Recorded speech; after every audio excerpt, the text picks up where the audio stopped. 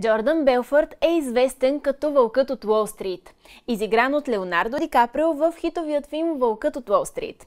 Тази личност става милионер едва на 26 годишна възраст, а животът му е ярък пример за възход, падение и оцеляване. В книгата му Пътят на вълка Джордан Белфърд включва система за убеждаване и продажби, която доказано помага на всеки, който иска да сключва сделки и да печели. Пътят на вълка разкрива тайната за това как да убедим някого да направи нещо, независимо от възрастта, образованието или възможностите ви.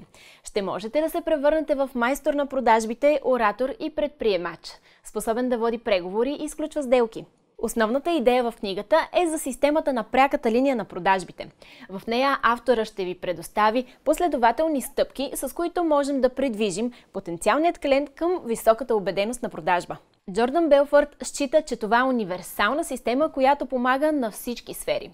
Банки, застраховане, недвижими имоти, реклама, маркетинг, автомобилна индустрия и още много други. Основните теми, които се засягат, са какво се прави през първите 4 секунди, каква е ролята на интонацията и езикът на тялото и кои са 10 златни правила в търсене на потенциални клиенти.